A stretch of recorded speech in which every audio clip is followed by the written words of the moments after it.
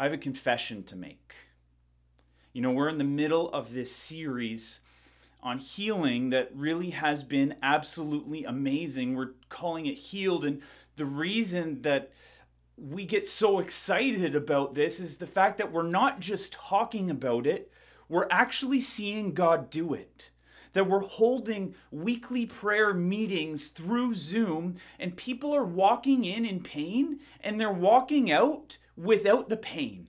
That they're walking in in a brace and walking out without it and with full dexterity. And I had something prepared to share with you today, and I got to tell you that I cannot, in good conscience, go where I wanted to go.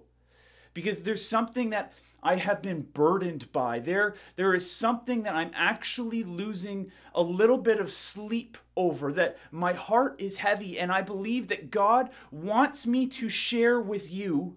But if I'm completely honest, I don't want to say it out loud.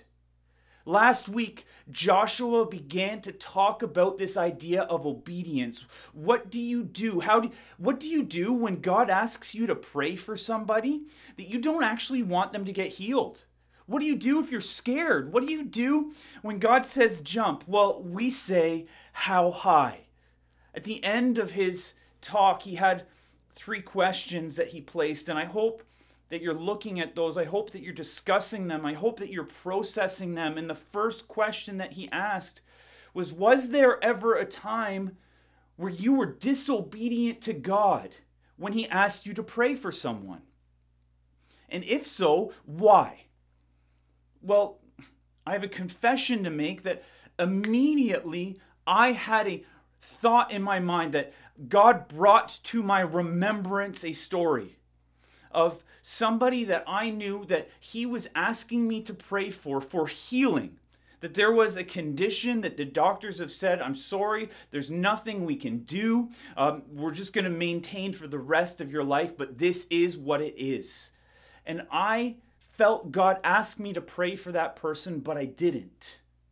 I didn't because I was scared of what it might what they might think of me when I say that out loud.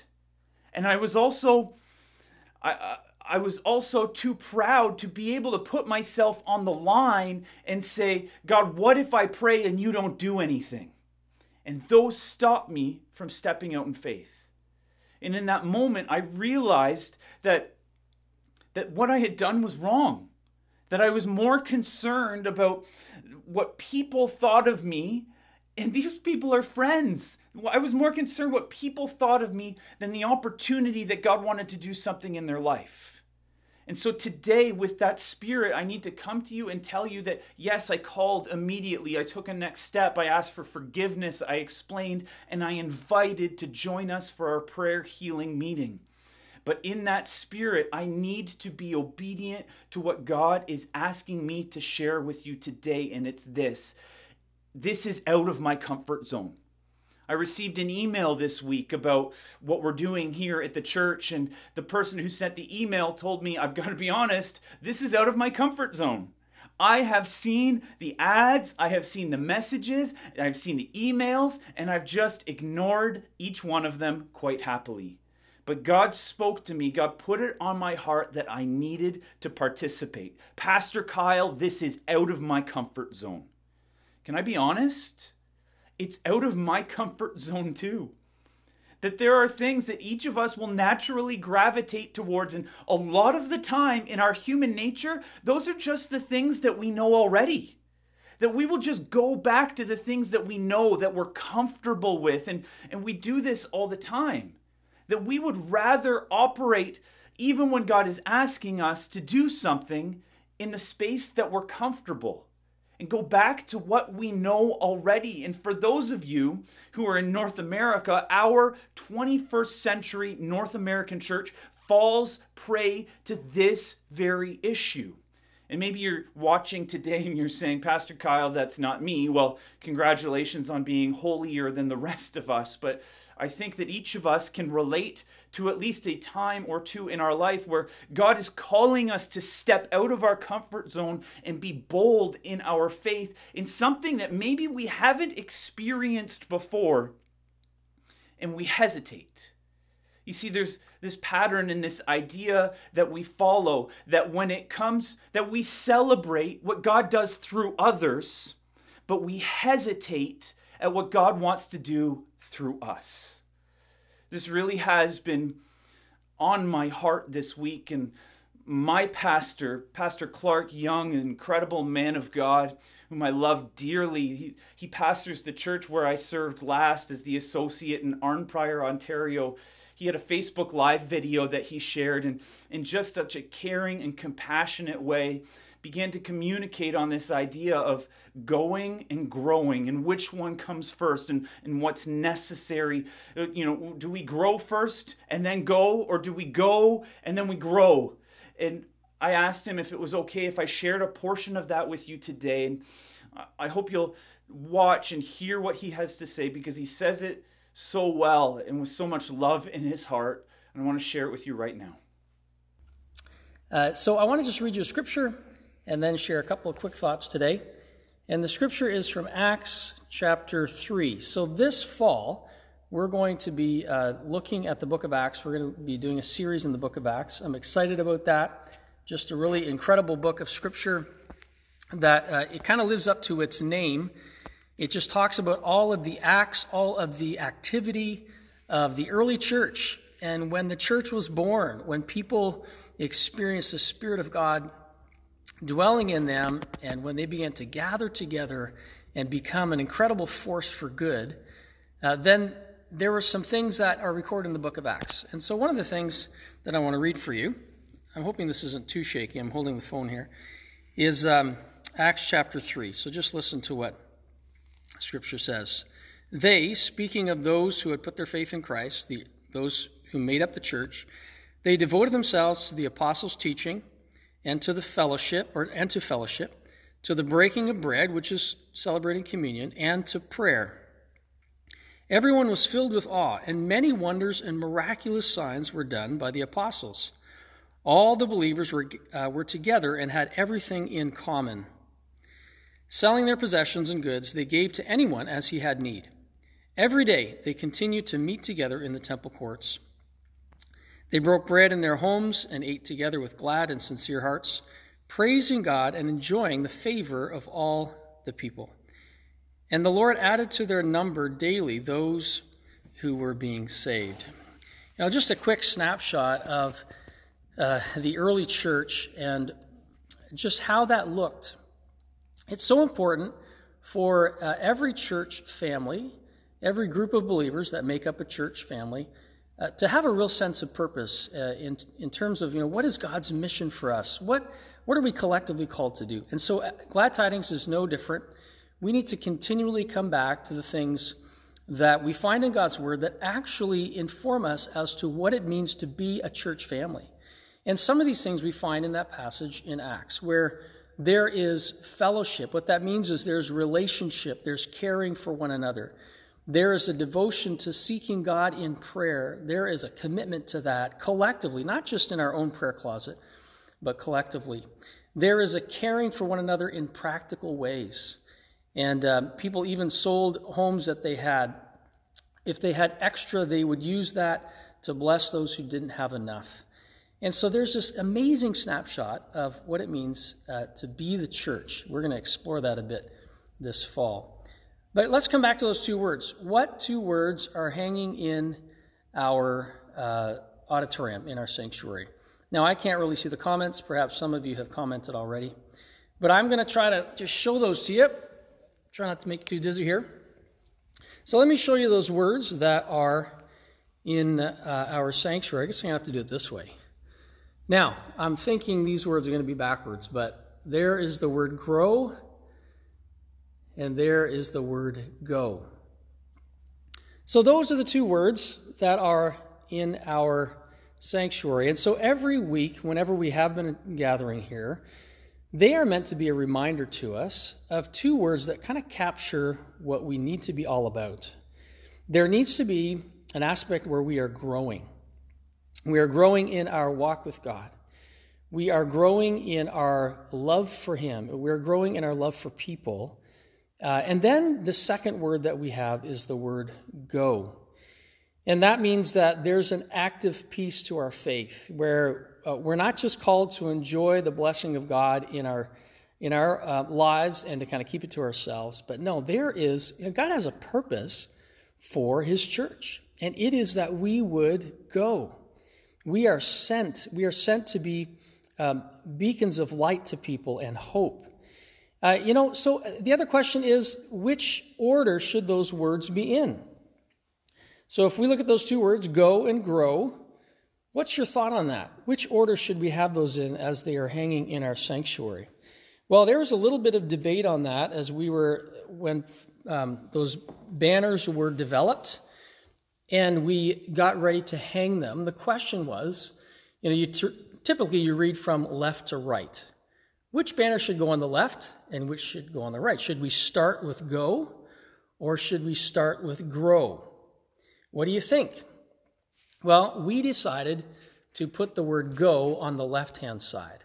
That that would be the first word that your eye is drawn to, and then grow would be on the right hand side. Now, we know that these things kind of happen simultaneously, but here's the thing. If it's all grow and we forget to go, then we just become fat in our faith, right? If there's no outlet, if we're not actually serving the purposes of God, he, he has things that He's called us to do, to work through us, to bless others, to bring hope. If we just think, well, my job is just to grow, just to understand more of who God is and to grow in my faith, uh, if it's all grow and no go, then we just become fat. In fact, uh, the question probably is if you think you're growing and there's no go to your life, there's no outlet, then maybe you're not really growing. Because I think as we grow in our walk of faith, God puts in us a deeper desire to love people, to be part of His plan for people. Uh, now, the other hand of that, I guess the other side of the coin, if it's all go and no grow, then we become shallow. If we're not taking time in our own walk with God to grow deep in our knowledge of God experientially, in our knowledge of God through His Word, if we're not maturing, but we're very busy reaching out, then what, what the danger is is that we become shallow in our faith, and uh, something, a storm will come along that will that will just wreck us because we haven't really learned to deepen our faith in God. And so I guess the answer is both of those things need to happen simultaneously. But we decided to put grow first, or sorry, go first, because here's the thing we can be tempted to come Sunday after Sunday and and be fed in God's word and have fellowship together. And very little uh, outflow happens through the week. Sometimes we think, you know, I'm not mature enough to reach out to someone and to, you know, to share my faith or to be really used by God. So I just got to grow some more. Well, here's the thing. I think we need to just make the decision to go, to take steps of faith. And along the way, boy, when you begin to step out and be obedient, then there's a lot of growth that happens along the way.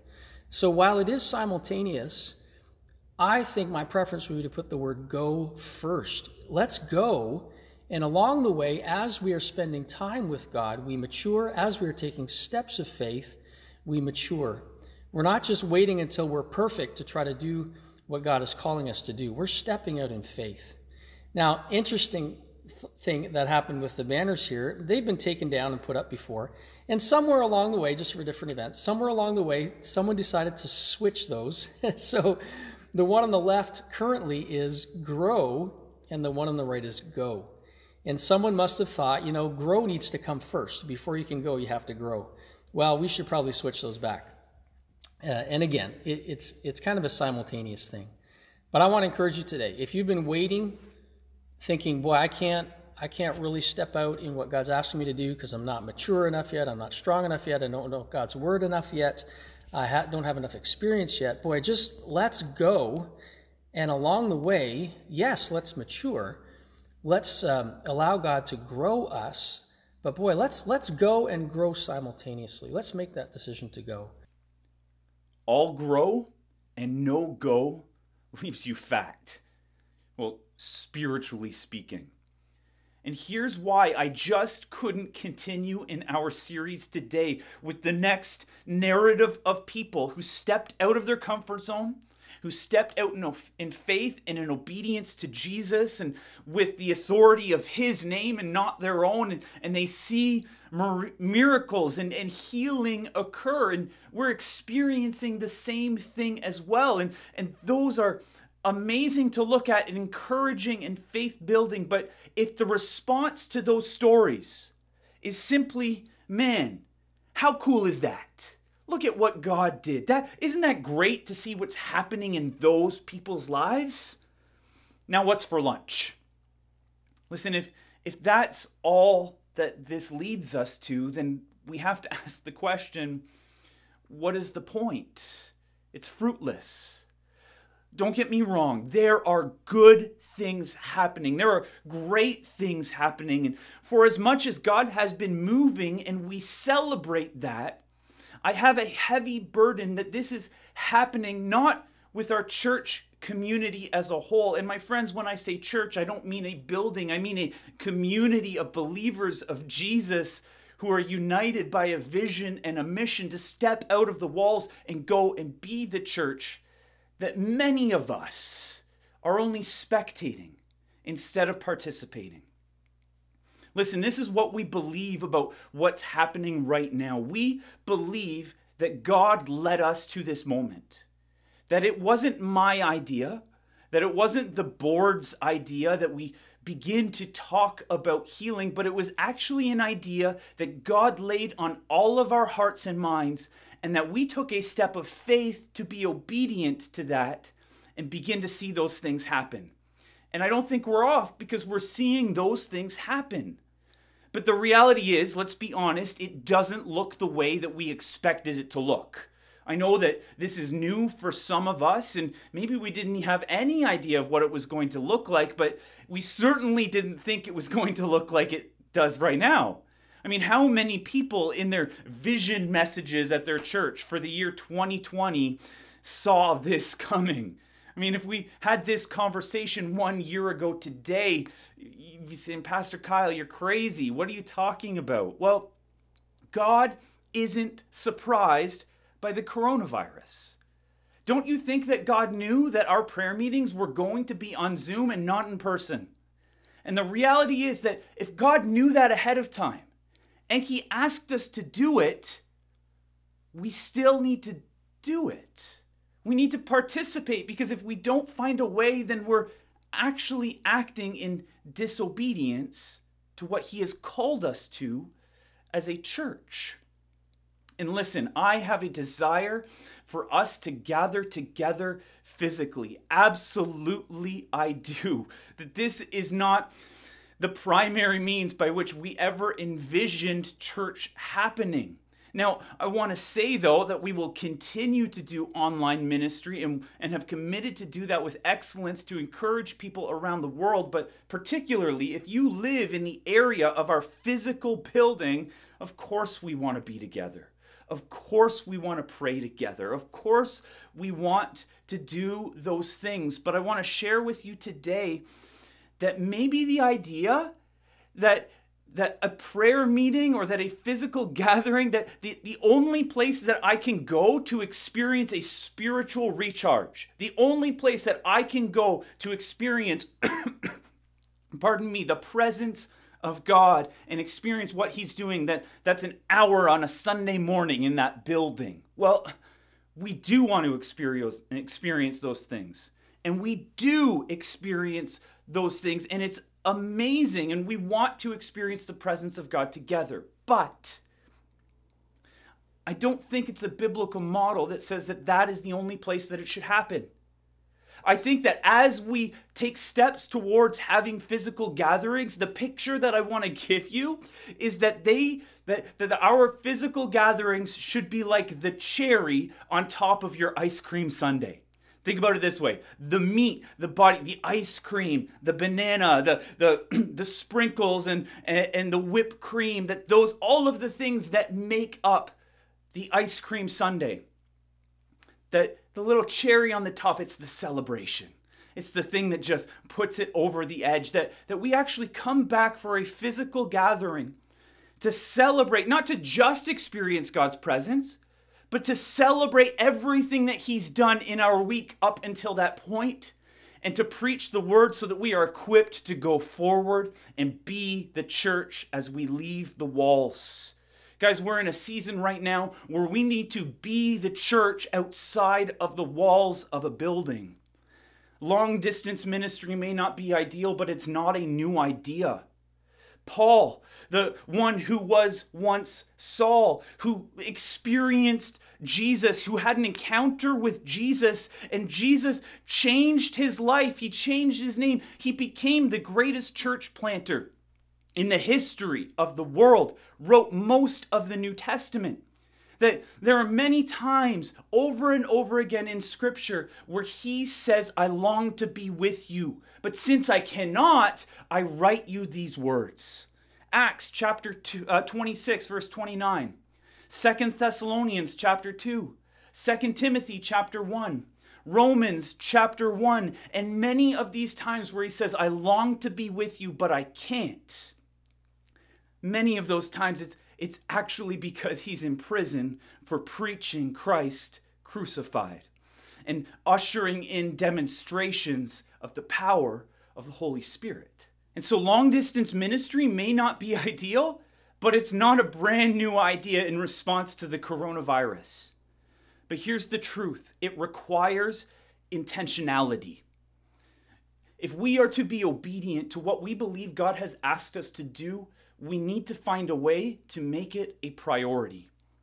And full disclosure, the reason that our prayer meetings happen on Wednesday nights at 8 o'clock, it's because that's just the time that we picked. Like, that's pretty much it.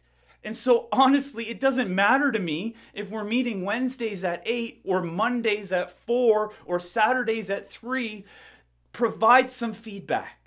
Let us know when we can gather virtually to pray with and for one another, to be obedient in what God has asked our church to do, not a select number of people from this community to participate in, and for the rest of us to sit on the sidelines and simply observe. Let us know when we can gather together in that capacity so that we can pray with and for one another. With this idea of inten- intentionality, I want to tell you don't wait. I mean, it's great. It's great for us to get together for prayer meetings and to have lots of people there. That is true. But you know what's even better than that? When you don't wait for a prayer meeting, but you say, I've seen what God has done in my life and because he's touched me, because he's transformed me, because he's healed me, or I've seen the story of what he's done, I'm going to go and share that with the people in my life. That I don't need to wait until Wednesday night at 8 o'clock because I can just pick up the phone and call. Listen, one of the most encouraging testimonies through this whole process has not been somebody that was healed, because the point of healing isn't actually a healing, it's to point people towards Jesus. But the person who got healed responded with so much boldness that when their coworkers expressed that they had some sort of ailment and pain in their body, she simply responded by saying, "Well, my God's a healer, and he healed me, so let me pray for you." That's that is being the church. That is doing what God has asked us to do, to step out of our comfort zones and to go and in the process also grow. So I want to challenge you today that as you go on the rest of your day, as you go throughout this week and you go to Walmart to get your groceries, how about this? Instead of being passive and waiting for God to interrupt you to ask you to pray for somebody, that you would be active, that you would be proactive, and you would ask Him before you get out of your car and step into the store God, is there somebody you would like me to pray for today, even as I go into the grocery store? And as God puts somebody on your heart, declare your obedience to Him ahead of time and just see what He does. Finally, share with intention. Because we're not physically together, there are some bonuses. We get to be encouraged by people all around the world, but we need to be intentional and share those things so that our faith, that the faith of the people around you who might live in a different home, that their faith, faith can also be encouraged, that it can be increased so that they have the faith to step out and be obedient as well. And so, if you have experienced healing, or if God has touched your life in some capacity, or He's put it on your heart to pray for somebody and you did, let us know so that we can share it with the people in our community and see our faith encouraged and increased as well. Email me, Kyle at cornerstonelively.com. We will never publish your information without your permission. I guarantee you that. But I want to let you know that we need to hear your stories of what God is doing because it's maybe not even just for you, but it's for all of the people around you who need their faith encouraged as well. You know, sometimes I think when it comes to the gifts of the Spirit, when it comes to miracles and signs and wonders, that we grieve the Holy Spirit when we keep them to ourselves. Because the gifts that God has given us were never meant for us to hoard within a building, within four walls. The gifts were given so that we would be empowered to minister to others, so that it would point people and their attention towards Jesus, and they would have an opportunity to seek relationship with Him. And so, lastly, I want to share with you today before we call it, and I ask you to step out in faith with boldness out of your comfort zone. I want to ask you to invite those and to pray for those people in your life that you know do not yet know Jesus. And even when they are not a follower of Jesus yet, that you still bring them to the meeting, that you still pray for them to be healed to their face, with them on the phone, via email, via Zoom. That you would do those things not only with the people who already belong to a church, but with the people in your life who do not yet follow Jesus. You know, we say that our vision is to take steps closer to Jesus.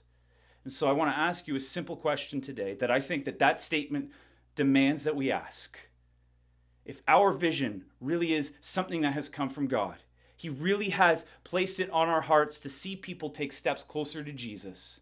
I want to ask you right now what step are you going to take closer to Jesus this week? Step out of your comfort zone. It's time to go and grow at the same time. Father, we love you. And I pray that this word that it that it finds a place in our hearts that we would be able to respond to it and hear what you have to say to us. That each and every one of us would respond as you speak to us, not my words. God, I know that I'm imperfect, but you are not. And so I ask that your truth would land in our hearts and that we would respond with faithfulness and that we would respond with boldness. Not to do what I ask, not to do what this church asks, but to do what you ask of us. So I pray this in the name of the risen King Jesus. Amen.